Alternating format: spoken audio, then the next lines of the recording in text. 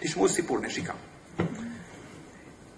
כל מי שעוסק בחסד מכיר את התופעה הזו, לפעמים אתה מקבל את האבנים הכי גדולות, את הבליסטראות הכי גדולים אתה מקבל ממי שעזרת לו הכי הרבה.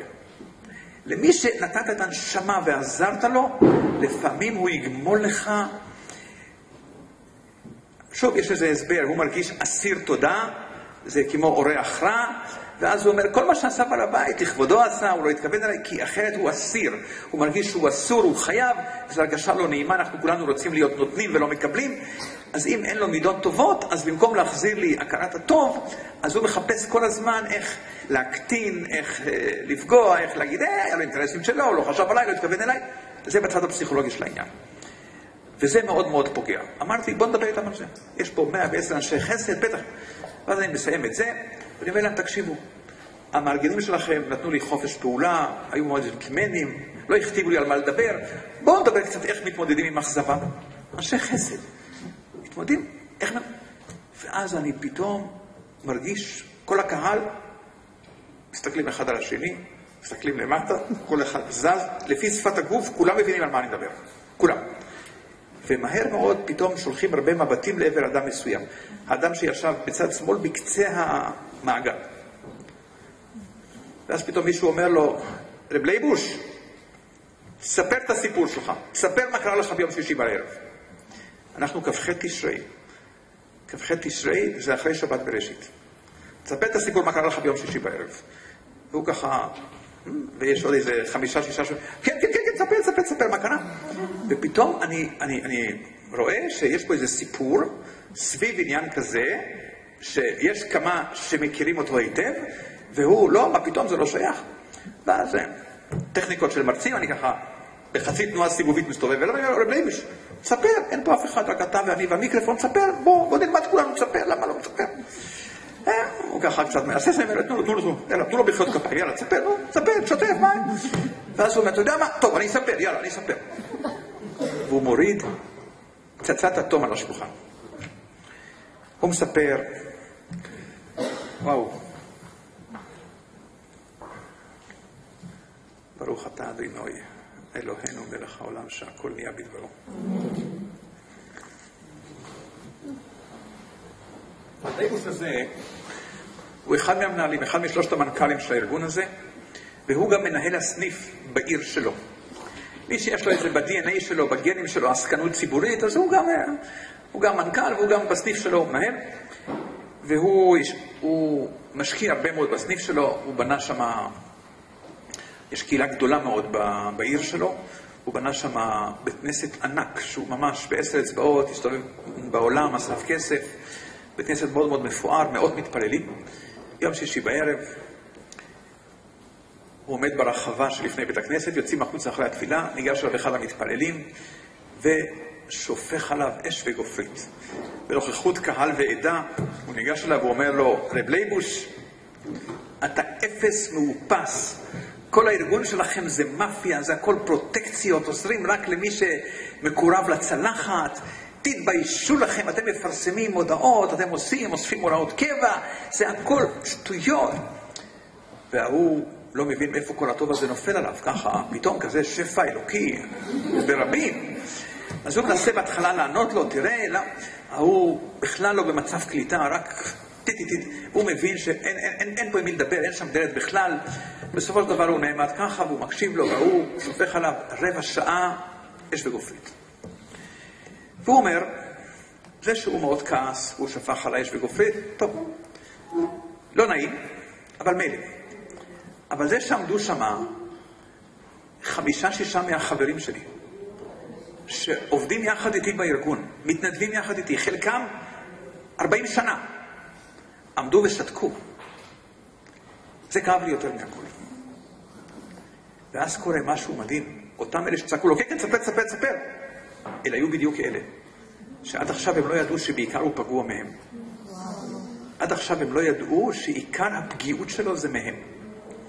ואז הוא אומר, הם עמדו שם, נכון, היה מי שניסה להגיד לו, תשמע, שמואל, לא ברבים, תלך אליו הביתה, זה לא צורה, לא כאן, לא פה, לא שם.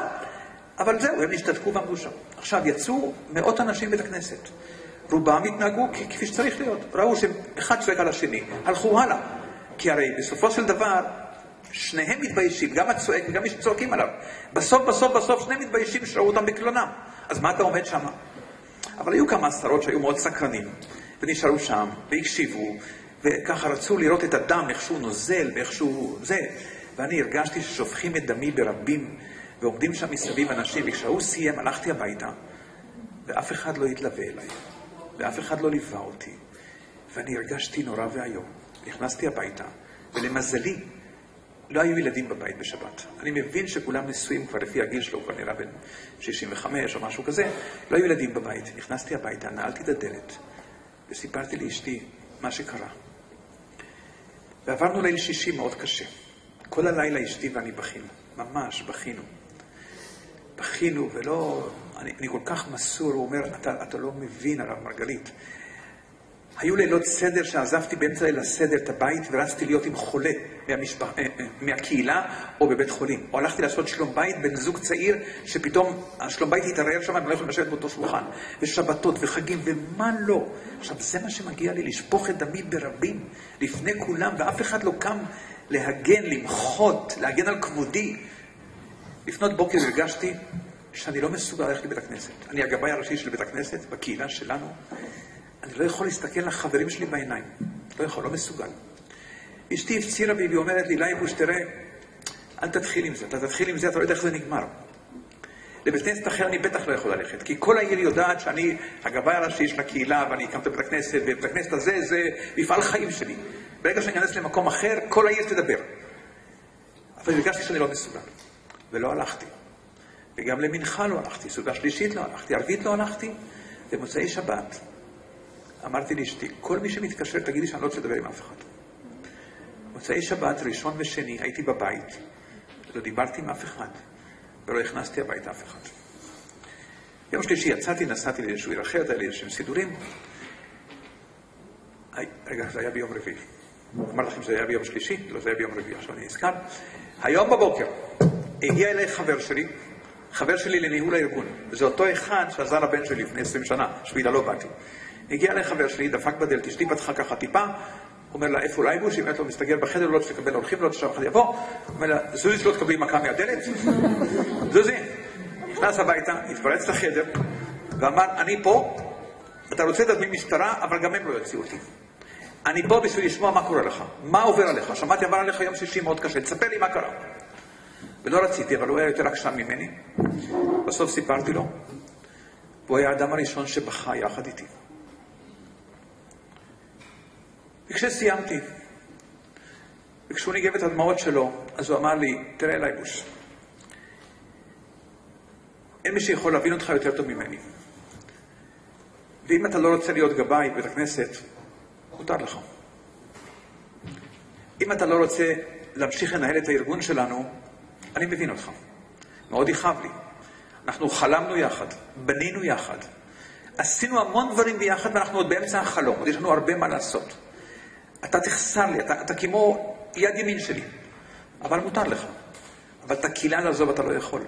כל הילדים שלך החברים בקהילה. הבנים שלך, החתנים שלך, הנכדים שלך, כולם לומדים בקהילה. יש לך נכדה שמתחתנת בעוד חודשיים. מי, מי ירקוד שם? לא, לא חברי הקהילה. אתה צריך להתגייר, אתה צריך להיוולד מחדש כדי לא להיות בקהילה. אתה לא יכול להחרים את הקהילה. לייבוש, תקשיב. בוא איתי, יש לנו היום יום עיון. בוא איתי לחפץ חיים. בתום יום העיון, תרשה לי להיפרד ממך באופן רשמי, להגיד כמה מילים. אתה רוצה להגיד לחברים מה אתה חושב עליהם? תגיד להם. אבל אתה לא יכול לברוח. אתה לא יכול. לא רציתי. אמרתי לו, לא, אני לא נוסע. הוא אומר לי, אם אתה לא נוסע, אני מתקשר לחפץ חיים, אני אומר להם שיקחו אוטובוסים ויבואו לנה. אז פה יהיה האספה. אז פה יהיה הכינוס. אתה חייב להגיד לחברים מה אתה מרגיש, ולהגיד להם שלום ולהיפרד מהם, כמו בן, כמו בן אדם, ובשבת אתה בא לבית הכנסת. הוא היה יותר עקשן ממני, ואני פה. ועכשיו שאתה אומר, הרב מרגלית, שכל פעם צריך לחשוב מה אתה יכול לעשות באופן מועיל, ותמיד צריך לחשוב טוב, והכל הולך אחרי המחשבה, אז תגיד הרב מרגלית, אם לך היו עושים דבר כזה, לא היית נעלב? והייתה שם דממה מתוחה כשהוא גמר. זבוב לא עף, כמו שאומרים. ואני הרגשתי 120 אה, זוגות עיניים ככה מתבוננים. אותם השישה חבר'ה או חמישה חבר'ה היו מחוקים לגמרי, הרגישו מאוד מאוד פגועים.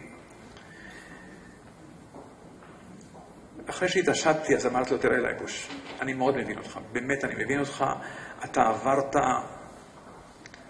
עברת טראומה מאוד לא פשוטה, ביזיון כזה ברחובה של עיר, ברבים, שפיכות דמים של ממש, של ממש.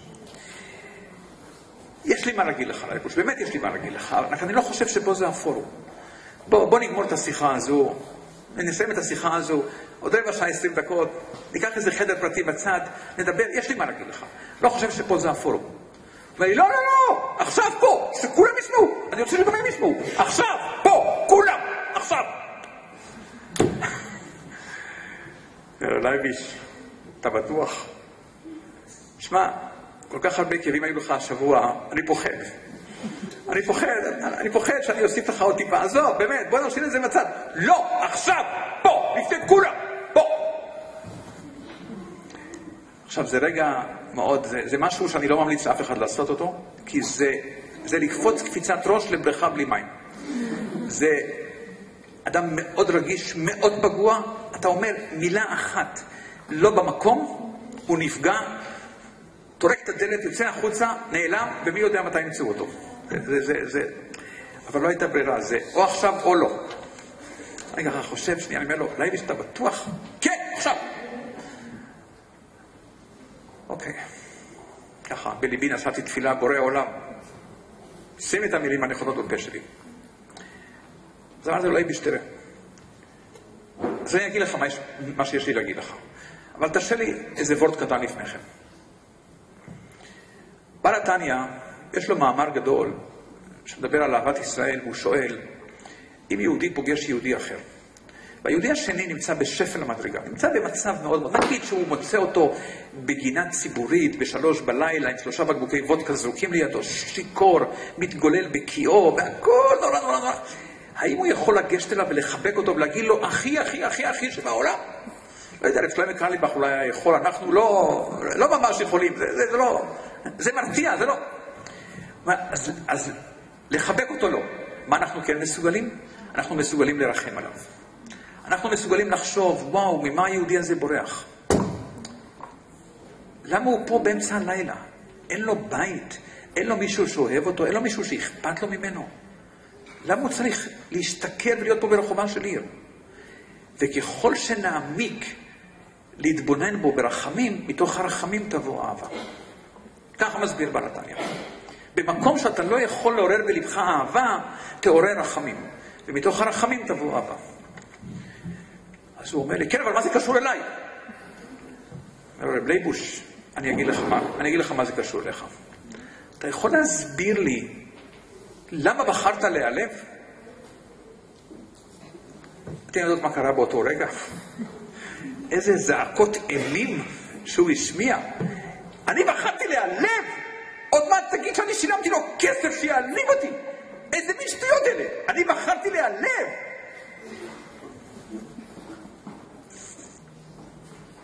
אמרתי לו, רב לייבוש, תראה, לא נעים לי להגיד לך את זה, אבל היה פה יותר משפה אחת. היה פה אדם שדיבר מילים מאוד קשות, מאוד פוגעניות, מאוד מעליבות. אבל היה פה עוד משהו, היה פה שפת הלב של יהודי מאוד מאוד פגוע. אם יהודי עומד ברחובה של עיר וזועק זעקה גדולה ומרה, סימן שיש משהו שמאוד מציק לו. ולזה אתה לא נתת את דעתך. אתה לא הקשבת, לא היית קשוב לזעקה של היהודי הזה. למה לזה לא הקשבת? למה בחרת להקשיב לשפה המילולית ולא לשפת הלב? לקחו, לקח דקות ארוכות עד שאנשים הבינו על מה אני מדבר, כי גם אנשים לא כל כך הסכימו לזה. אמרתי לו, רב לייבוש, תראה, אם היית נותן לו אמפתיה, לאותו בן אדם, והיית אומר לו מין משפט כזה, תראה, אני מבין שאתה מאוד פגוע, אתה מאוד כאוב, זה בטח חושב על משהו מאוד קשה, כי אתה הרי לא נוהג כך בדרך כלל. אתה בדרך... ואתה זועק, תשמע, בוא, אתה יודע מה, בוא נקבע מוצאי שבת, נשב עוד הפעם, נחשוב, נראה אם אפשר משהו, יום ראשון, משהו, היית נותן לו לגיטימיות לזעקה שלו, היית מקשיב לו, הכל היה נגמר אחרת. אתה בחרת להיעלב. נעשה את הסיפור הזה קצר. כשנפרדנו, אותו אחד ששלח להזמין אותי, אותו מנכ"ל שהגיע אליו הביתה גם, ליווה אותי לרכב, אומר לי, הרב מרגלית, תגיד, איך ידעת לדבר בדיוק על זה היום הזה פה, כשאנחנו חווים דבר כזה? אני אומר, אתה יודע, גם אני חשבתי על זה. זה נשיקה מבורא עולם. עכשיו אני אספר לך.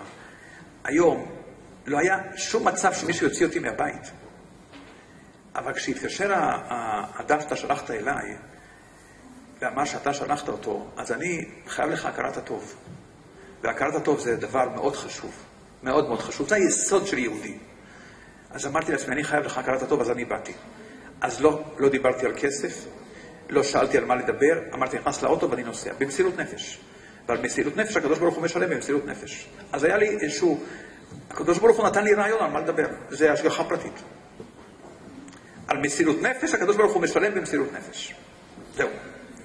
עכשיו, כל הסיפור כולו זה, תראו מה קורה.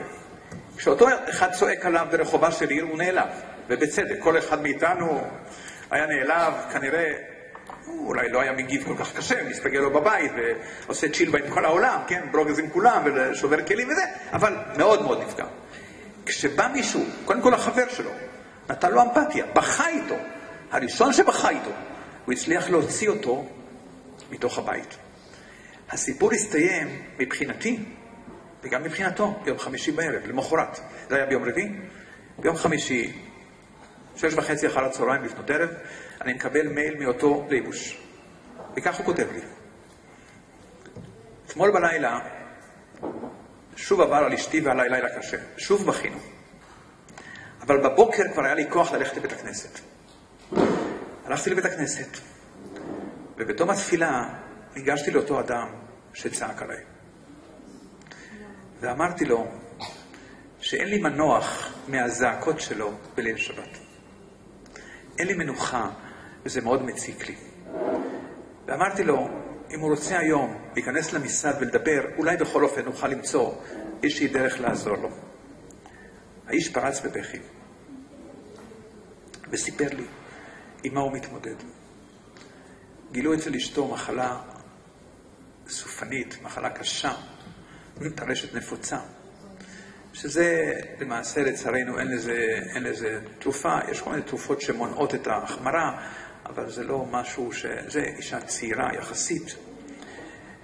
ואנחנו היינו זקוקים לסכום כסף מסוים, רצינו לנסוע לארה"ב לעשות איזשהו ניסיון, המליצו לנו, ואנחנו קיבלנו רק רבע ממה שביקשנו. ואשתי כל כך נעלבה, וביום שישי בצהריים עזבה את הבית. לא הכינה שבת, השאירה לי פתק שהיא נסעה לאחותה ושאני אלך לאכול צדקה איפה שאני רוצה. ואני בבית הכנסת, ואני רואה אותך שמח ורוקד בלך דודי. ואני אומר, אני אלך הביתה ואני מוצא בית ריק, אין פלטה, אין אישה, אין אוכל, אין כלום, בין ארבע קירות. אז התפרצתי. אני מתנצל. אבל אתה, שמעתי שהתפטרת. איך אתה מזמין אותי אליך? אומר לו, יצאתי לחופשה, חזרתי.